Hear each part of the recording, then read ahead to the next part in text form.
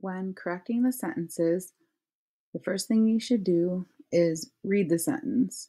Fog always forms near the ground.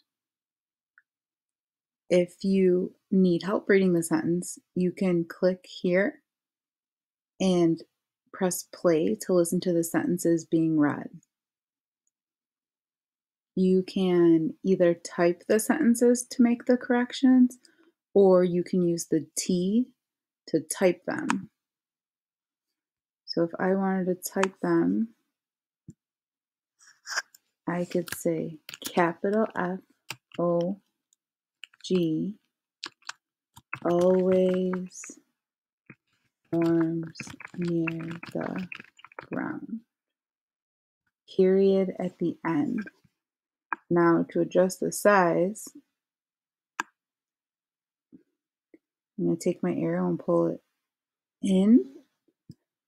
And then I'm going to pull on the outside to make it longer.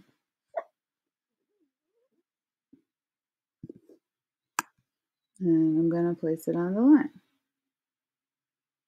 It doesn't have to fit perfectly. now, if you want to use one of the writing tools to write the sentence, you click on the writing tool, choose your color. Let's make it purple. And then you write it on the line. So I'd write fog, F O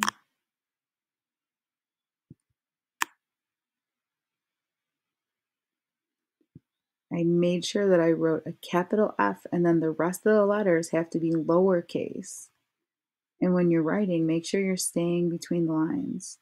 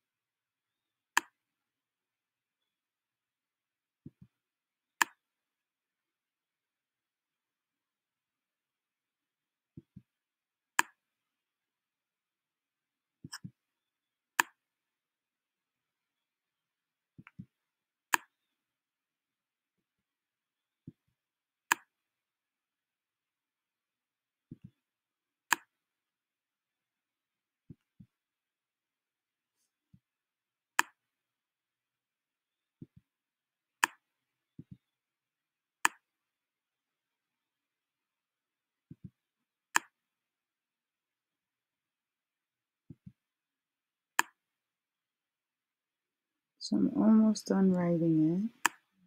G R O U N D.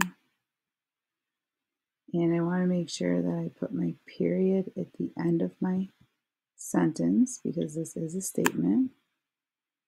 Okay.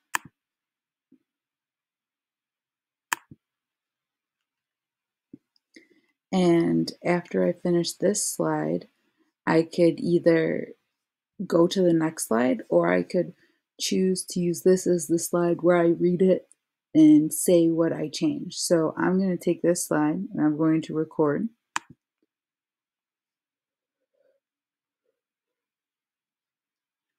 Fog always forms near the ground. To fix this sentence, I put a capital F for the first word of the sentence, and at the end of the sentence, I added a period. When you're done recording, you then would hit done. And since you chose to record the sentence, you don't have to do it again. Then you can go to your next slide and you could start making corrections on this slide. And when you're all done, you fixed every slide, then you hit the green check to turn it in.